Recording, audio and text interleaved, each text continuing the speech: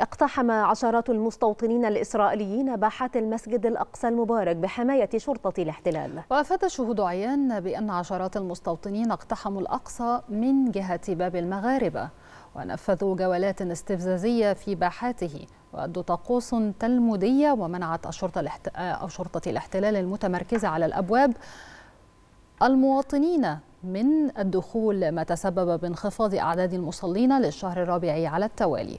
وفي واقعة منفصلة اعتدى مستوطنان الليلة الماضية على راهب في البلدة القديمة من مدينة القدس المحتلة.